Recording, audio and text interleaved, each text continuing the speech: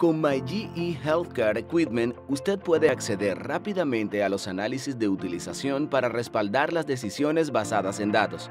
Obtenga una vista general del desempeño de los equipos de su departamento de imágenes médicas, todo en gráficos fáciles de interpretar o mediante los reportes de utilización individuales por equipo.